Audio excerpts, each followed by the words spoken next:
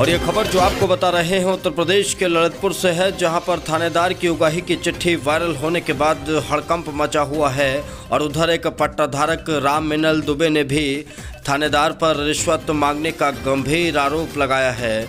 उसके मुताबिक पूरे थाना क्षेत्र में जोरों से अवैध कारोबार का धंधा चल रहा है और इसकी जो चिट्ठी है वो एक लिस्ट है। सभी लोगों से अवैध तरीके से वसूली की जा रही है, लेकिन ईमानदारी से काम करने वालों से भी इस दौरान रिश्वत मांगी जा रही है। राम मिलन दुबे का कहना है कि उन्होंने इसकी शिकायत तो सीएम से लेकर डीएम तक से कर दी, लेकिन अभी तक इस पूरे मामले में कोई कार्रवाई होती हुई नहीं दिखाई दे रही है।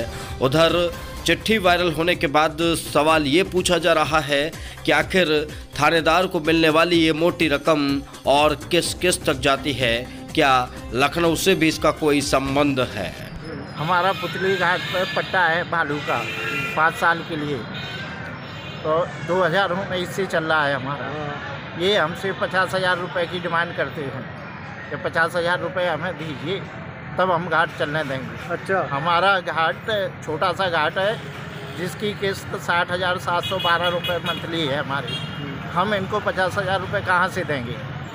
ये आए दिन हमारा ट्रैक्टर पकड़ लेते हैं। हमारा ट्रैक्टर कांटे पे तुल के अब रोल्टी कटती है एम एम ग्यारह। बगैर तोल के एम एम ग्यारह नहीं कटते हैं। जैसे ही एम एम ग्यारह के लिए ट्रैक्टर जाता है वाहन और ये पकड़ लेते हैं कि आपके पास एम एम ग्यारह नहीं है। और ये हमसे कहते हैं पचास हज़ार रुपये दो। वहाँ अवैध खनन करवा रहे हो, उनसे पैसा नहीं ये लेते हैं। पूरे क्षेत्र में अवैध खनन चल रहा है।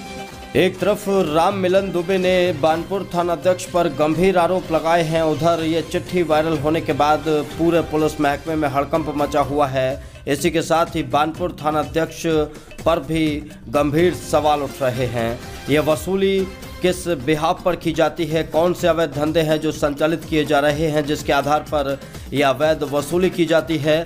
और आखिर इसका हिस्सा किस किस के पास पहुँचता है? ये चिट्ठी वायरल होने के बाद और राम मिलन दुबे के आरोपों के बाद अब सवाल ये है कि जाँच क्या होगी और किस पर कार्रवाई होगी।